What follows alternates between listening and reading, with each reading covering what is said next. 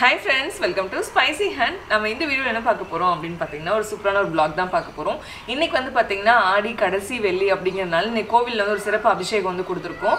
நாங்கள் மட்டும் இல்லாமல் எங்களோட இன்னும் கொஞ்சம் ரிலேஷன்ஸும் வராங்க அப்படின்னால கொஞ்சம் சாப்பாடுலாம் இங்கேருந்தே செஞ்சு எடுத்துகிட்டு போயிடலாம் அப்படின்றது தான் பிளான் அதனால் பார்த்தீங்கன்னா மணி மூணு மணிக்கு எந்திரிச்சேன். அப்படி எந்திரிச்சு நான் என்னென்ன வேலையெல்லாம் பார்த்தேன் அப்படின்னு சொல்லிட்டு இப்போ வீடியோவில் நீங்கள் பாருங்கள் அதுக்கப்புறம் ஒரு சூப்பரான ஒரு சர்ப்ரைஸ்னு சொல்ல முடியாது. பட் என்னோட ரொம்ப நாள் ஆசை வந்து நிறைவேறியிருக்கு அப்படின்னு சொல்லலாம். சரி ஃபஸ்ட்டு நான் இன்னைக்கு என்னென்னலாம் சமைச்சேன்னு சொல்லி பாருங்கள் இப்போ வந்து பார்த்தீங்கன்னா கரெக்டாக மணி மூணு மணி ஆகுது. ஆனால் எனக்கு ரெண்டு மணிலேருந்தே தூக்கம் வரலைங்க. சாப்பாடு செய்யணும் அப்படின்ற ஒரு பொறுப்பு வேறு ஒரு பக்கம். அதுவும் இல்லாமல் நேற்று நான் ஒரு வேலை பண்ணிட்டு வந்தேங்க. அதனால் ஒரு பயங்கரமான வழி இருந்துகிட்டே இருந்தது. அதனால் சரி நம்ம எந்திரிக்கலாம் எந்திரிக்கலாம்னு சொல்லிட்டு அப்படியே ரெண்டு மணிலேருந்து யோசிச்சு யோசிச்சு கடைசியில் மூணு மணிக்கு எந்திரிச்சாச்சு. எந்திரிச்ச உடனே பார்த்தீங்கன்னா நான் ஃபஸ்ட் எடுத்தோடனே புளி ஊற வச்சுட்டுங்க. ஊற வச்சு தான் பார்த்தீங்கன்னா மோகம் கழுவிட்டு ப்ரஷ்லாம் பண்ணேன். எடுத்தோடனே பார்த்தீங்கன்னா புளி சாதத்துக்கு வந்து ஃபஸ்ட்டு புளியை கரைச்சி அதை வந்து அடுப்பில் ஏற்றிட்டேன் இது நல்லா சூண்டி நல்லா தொப்பு பதத்துக்கு வரணும். அதனால் அந்த டைம் அது கொடுக்கணும் அப்படின்றதுனால ஃபஸ்ட்டு வந்து புளி கரைச்சலை வந்து ஆட் பண்ணிட்டேன். இந்த இடத்துலேயே வந்து பார்த்தீங்கன்னா சாப்பாடும் விசில் வந்துருச்சு. ஃபஸ்ட் வந்து நான் லெமன் சாப்பாட்டுக்கான சாதம் தான் வச்சேன். நல்லா உதிரியாக வரணும் அப்படிங்கிறதுனால கொஞ்சமாக எண்ணெய் சேர்த்துக்கிறேன். சேர்த்து நல்லா ஆறட்டும். இந்த சமயத்தில் வந்து லெமன் சாதம் வந்து ரெடி பண்ணிக்கலாம். லெமன் சாதத்துக்கு தேவையான அளவுக்கு லெமன் எடுத்து நான் பாதியாக கட் பண்ணி அது மாதிரி நான் புளிஞ்சு எடுத்துக்கிறேன். லெமன் சாதத்துக்கு வந்து ஒரு சின்ன சின்ன டிப்ஸ்லாம் யூஸ் பண்ணிங்கன்னா ரொம்ப அருமையாக பண்ண முடியும். நிறைய பேர்த்துக்கு வந்து ஆனியன்லாம் ஆட் பண்ணுவாங்க லெமன் சாதத்தில் எனக்கு வந்து வெங்காயம் சேர்க்கறது பிடிக்காது அப்படின்னா நான் கம்ப்ளீட்டாகவே எனக்கு அவாய்ட் பண்ணிட்டேன். இந்த நேரத்துலேயே வந்து பார்த்தீங்கன்னா நான் புளி சாதத்துக்கான அரிசியை ஊற வச்சுட்டேன். ஊற வச்சு அதையும் அடுப்பில் ஏற்றிட்டேன் இப்போ வந்து லெமன் சாதம் தாளிச்சு விட்டு எடுத்து கலந்து வச்சிடலாம். இப்போ ஒரு பேனில் கொஞ்சமாக எண்ணெய். அது கூட வந்து பார்த்தீங்கன்னா கடலைப்பருப்பு உளுத்தம்பருப்பு கடுகு இதெல்லாமே சேர்த்துக்கோங்க. சீரகம் உங்களுக்கு ஃப்ளேவர் பிடிக்கும்னா சீரகம் கூட சேர்த்துக்கலாம். இப்போ வரமிளகாய் வந்து ஒரு பத்து மிளகாய் சேர்த்துக்கிறேன். அது நல்ல கலர் மாறி வந்த உடனே பார்த்தீங்கன்னா பூண்டு சேர்த்துக்கிறேன். பூண்டு வந்து பத்துலேருந்து ஒரு பதினஞ்சு பல் நல்லா பொடிச்சு நடுக்கி சேர்த்துக்கிறேன். அது கூடவே ஒரு இருபது முந்திரி பருப்பும் நான் சேர்த்துக்கிறேன். தேவையான அளவு மஞ்சள் தூள் சேர்த்துக்கோங்க. சேர்த்துட்டு நல்லா அந்த மாதிரி மிக்ஸ் பண்ணி விட்டுருங்க. இதில் வந்து கொஞ்சமாக பெருங்காய பொடி வந்து சூப்பரான ஒரு டிப் என்னன்னா கொஞ்சமாக சர்க்கரை வந்து ஆட் பண்ணிக்கோங்க. அது கூட தேவையான அளவு உப்பு சேர்த்துக்கோங்க. அந்த சர்க்கரை வந்து பார்த்தீங்கன்னா அந்த புளிப்பு ப்ளஸ் அந்த கசப்பு டேஸ்ட் ஒரு வேளை வந்து அந்த லெமனில் இருக்குது அப்படின்னா அந்த கசப்பு தன்மை எல்லாமே எடுத்துரும். அதனால கொஞ்சமாக நீங்கள் சர்க்கரை மட்டும் ஆட் பண்ணிக்கோங்க. அது கூட நம்ம ஏற்கனவே எடுத்து வச்சிருக்க லெமன் ஜூஸும் சேர்த்து ஜஸ்ட் லைட்டாக ஒரு கொதி வந்தால் போதுங்க. ரொம்ப நேரம் கொதிக்கணுன்ற அவசியம் இல்லை. ஜஸ்ட் ஒரு கொதி. அப்படியே ஆஃப் பண்ணிவிட்டு நம்ம ஏற்கனவே ஆற வச்சு வச்சுருக்கோம் பார்த்தீங்களா சாதத்தில் எடுத்து இந்த மாதிரி அழகாக மிக்ஸ் பண்ணிட்டீங்கன்னா உங்கள் லெமன் சாதம் அவ்வளோ பிரமாதமாக இருக்கும். அடுத்து வந்து பார்த்தீங்கன்னா நான் புளி சாதம் வந்து ரெடி பண்ண ஆரம்பிச்சிட்டேன். அதுக்கு தேவையான பொருள்லாம் வறுத்துட்ருக்கேன் நிலக்கடலை வந்து வறுத்து வச்ச நிலக்கடலை தாங்க. ஜஸ்ட் அந்த வாசத்துக்காக இன்னொரு முறை சூடு பண்ணி எடுத்துக்கிறேன். இதுக்கப்புறம் இதுக்கு ஒரு புளியோதரை பொடி வந்து ஆட் பண்ணணும். அதுக்கு வந்து பார்த்தீங்கன்னா ஒரு டீஸ்பூன் சீரகம் ஒரு டீஸ்பூன் கொத்தமல்லி ஒரு டேபிள் ஸ்பூன் மிளகு ஒரு டீ டீஸ்பூன் அளவுக்கு கடலைப்பருப்பு உளுத்தம் பருப்பு ஒரு டீஸ்பூன் வந்து பார்த்தீங்கன்னா எள்ளு ஒரு ஏழு எட்டு வரமிளகாய் சேர்த்து நல்லா வறுத்துக்கோங்க. இது கூட வந்து கடுகும் வெந்தயம் சேர்க்கணும். அது தனியாக பொடிச்சு வச்சிருக்கேன் அப்படின்னா இதில் எதுவும் சேர்க்கல. இது நல்லா ஆறுனதுக்கப்புறம் நம்ம பொடிச்சு எடுத்துக்கலாம். இப்போ நம்ம வந்து லெமன் சாதம் தாளிச்சோம் பார்த்தீங்கன்னா அதே கடாயில் கொஞ்சமாக எண்ணெய் கடுகு அது கூட வரமிளகாய் நல்லா பொடிசாக நறுக்குன பூண்டு பூண்டு வந்து கொஞ்சம் நல்லா நிறம் மாறி வர பார்த்தீங்கன்னா சின்ன வெங்காயம் வந்து நம்ம சேர்த்துக்கலாம். சின்ன வெங்காயம் வந்து ஒரு பத்துலேருந்து பதினஞ்சு சின்ன வெங்காயம் எடுத்து அதை நல்லா பொடிசு நறுக்கி அதையும் சேர்த்துக்கிறேன். இது நல்லா வதங்கி வரட்டும். நம்ம ஏற்கனவே புளி தண்ணி கொதிக்க வச்சுருந்தோம் பார்த்தீங்களா இப்போ இது எப்படி இருக்குன்னு சொல்லி வச்சுட்டு பார்த்துடலாம் இது நல்லா கொதிச்சு நல்லா கெட்டியான பதத்துக்கு வந்திருக்கு பார்த்தீங்களா இதுக்கப்புறம் தான் நம்ம வந்து வறுத்து அரைச்சி அந்த பொடி எல்லாமே சேர்த்துக்கணும். இப்போ வந்து புளி சாதத்துக்கு தேவையான அளவு உப்பு நம்ம ஏற்கனவே பொடிச்சு பார்த்தீங்களா அந்த பொடி அப்படியே சேர்த்துக்கிட்டு வெந்தய கடுகு பொடி வந்து நான் ஏற்கனவே ரெடிமேடாக அரைச்சி வச்சுருப்பேன். அதையும் நான் சேர்த்துக்கிறேன். அது கூட நம்ம தாளித்து அந்த தாளிப்பு எல்லாத்தையும் ஒன்றா சேர்த்துட்டு நல்லா மிக்ஸ் பண்ணி விட்டுருங்க.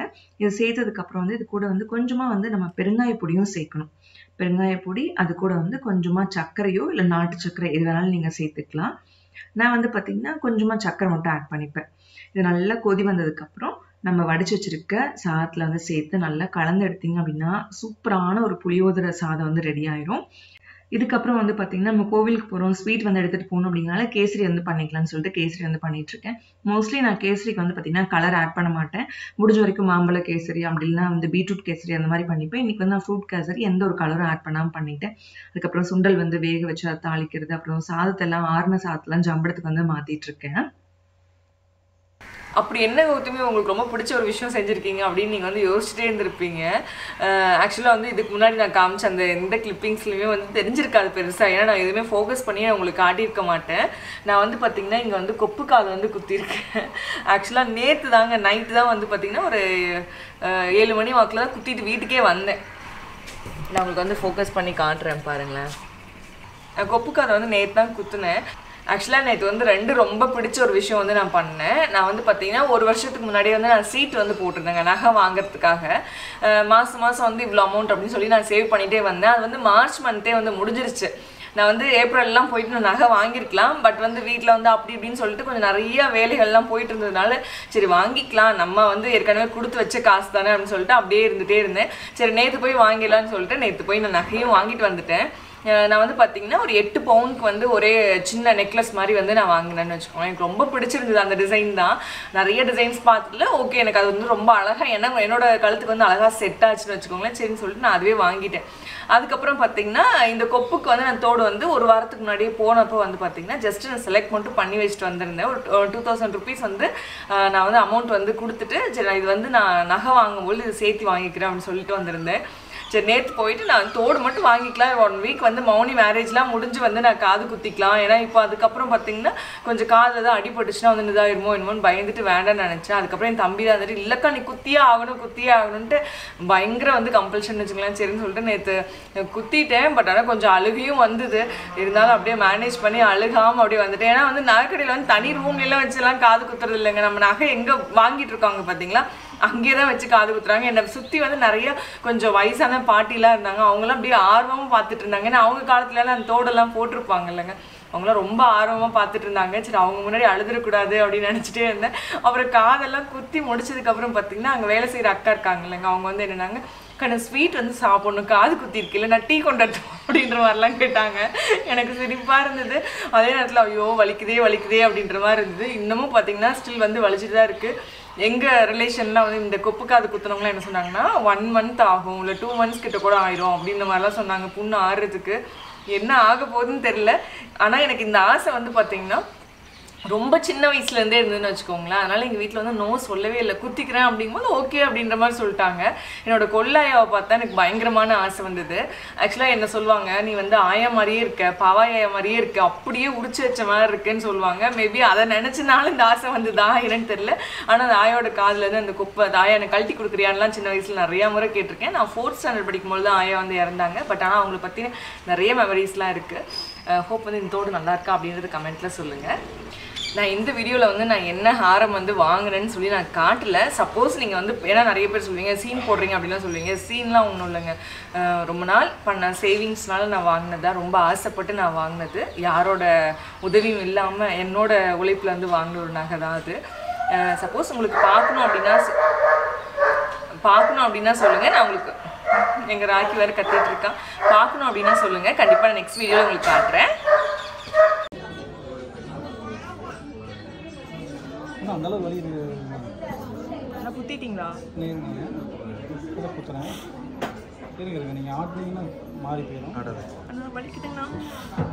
அண்ணா வலிக்குதுங்கண்ணா ரொம்ப வலிக்குது அவ்வளோ போட்டாச்சு நான் போடலிங்கண்ணா அண்ணா. வலிக்குதுங்கண்ணா. அவ்வளோ போட்டாச்சு இருங்க இருங்க ஊசி போட்டுறேன். அண்ணா வலிக்குதுங்கண்ணா. இருங்க இருங்க அவ்வளோ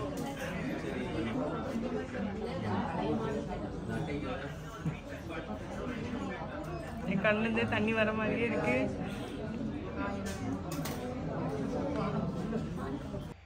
இப்படி தான் என்னோட கொப்பு காது குத்துற விழா வந்து முடிஞ்சுது. ஆக்சுவலாக நான் சிரிச்சுட்டு தான் இருந்தேன். ஆனால் அந்த பயங்கரமான வலி இருந்தது. அந்த காது குத்தி முடிச்சதுக்கப்புறம் எல்லாரும் அவங்க வேலையை பார்க்க ஆரம்பிச்சாங்க பார்த்தீங்களா? அப்போ தான் என் கண்ணு கலங்க ஆரம்பிச்சது. என் தம்பி வந்துட்டு அக்கா ஏதாவது சாப்பிட்லாமா?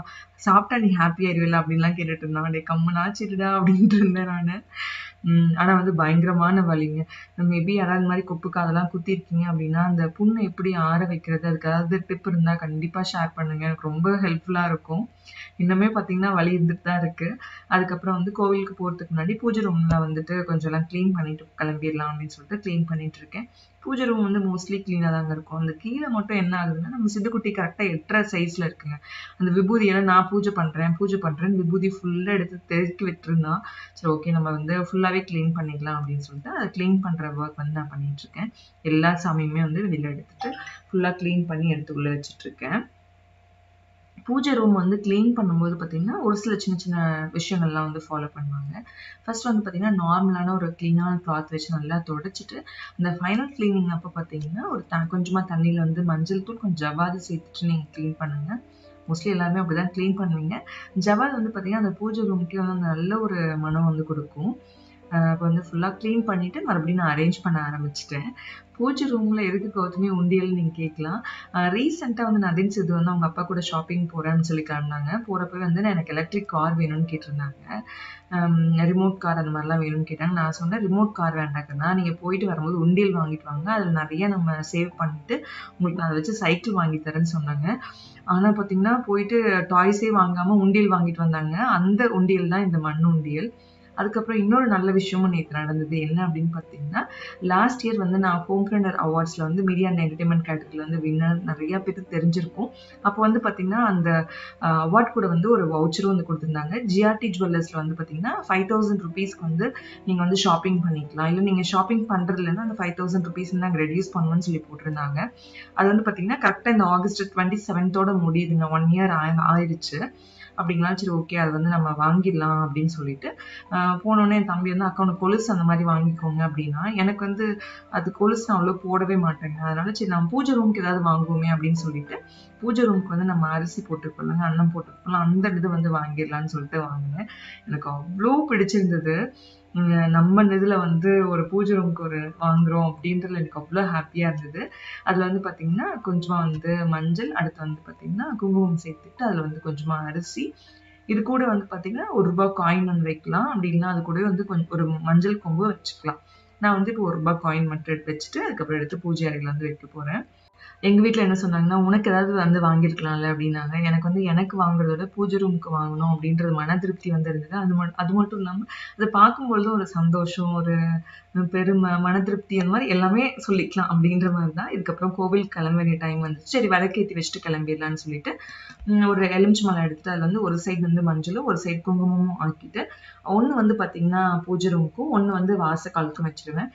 இது எதுக்காக நம்ம வாசக்காலில் வைக்கிறோம் அப்படின்னா வந்து கண்திஷ்டி வந்து போகுங்க கல்லடி பட்டா கூட படலாம் ஆனால் கண்ணடி வந்து படக்கூடாது அப்படின்னு சொல்லுவாங்க. அதனால கண்திஷ்டி வந்து பட்டுச்சுனாவே ஒரு குடும்பத்தில் வந்து நிறைய உடம்பு சரியில்லாமல் போகிறது அந்த மாதிரிலாம் ஆகும்.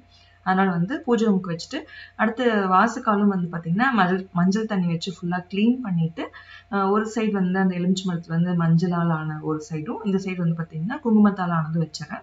மோஸ்ட்லி வந்து நாலு நாளுக்கு ஒரு டைம் வந்து மாற்றிடுவேன் அப்படி இல்லைனா அட்லீஸ்ட் வீக்லி ஒன்ஸ் ஆச்சு அதை வந்து நான் மாற்றிடுவேன் இதுக்கப்புறம் வந்து ஃபுல்லாக பூஜை எல்லாம் முடிச்சுட்டு நம்ம கோவிலுக்கு வந்து கிளம்பிடலாம். வாசக்காலுக்கும் வந்து பார்த்திங்கன்னா பூ வச்சாச்சு. இதுக்கப்புறம் சாமி படத்துக்கு வந்து பூ வச்சிடலாம்.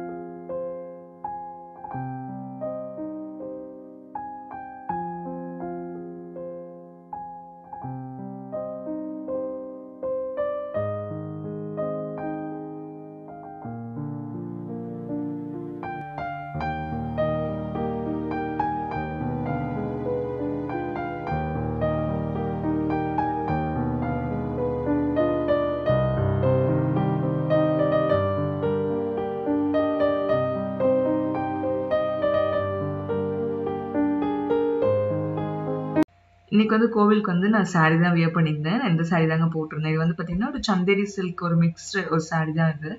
ம், நான் என்னோட ஃபோட்டோகிராஃபர் வந்து ஒழுங்காக வீடியோ வந்து எடுக்கல. சரி ஓகே இந்த கிளிப்பிங்ஸ் தான் இருக்குன்னு சொல்லிட்டு நான் அப்படியே ஆட் பண்ணிடுறேன் இப்போ வந்து பார்த்திங்கன்னா நாங்கள் கோவிலுக்கு வந்து ரெடி ஆகிட்டோம் கோவிலில் வந்து பார்த்திங்கன்னா இன்றைக்கி வந்து நாங்கள் சிறப்பு அபிஷேகம் வந்து சொல்லியிருந்தோம். ஃபுல்லாக வந்து பால் அபிஷேகத்தில் இருந்து எல்லாமே வந்து பண்ணணும் அப்படின்றதுக்காக சொல்லியிருக்கோம் அதனால் கொஞ்சம் நேரமாகவே போயிடலாம் அப்படின்னு சொல்லிட்டு.